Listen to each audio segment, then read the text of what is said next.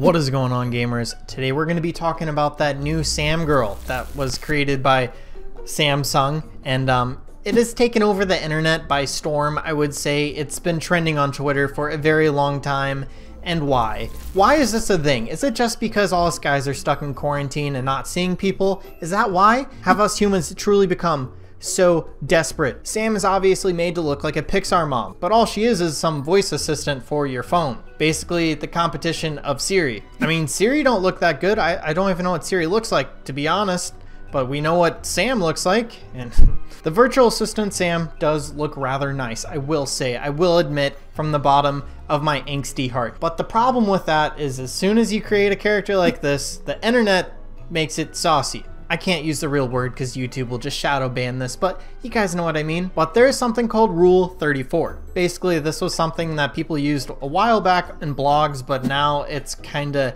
a makeshift word that we use for when things kind of get over saucy on the internet. If you guys have too much sauce for a certain character, they kind of have to get rid of it because it has become too saucified. I hope you guys are able to understand this code because I just, I'm seriously questioning my life. Okay, so now to the sad news. Because of all this, this virtual assistant probably will never see the light of day because she's not actually official yet. It's just something that Lighthouse, a third-party company, created for Samsung. And then because of it trending and all this inappropriate stuff getting out about this character, it may forever banish it. Like you may never see this girl again.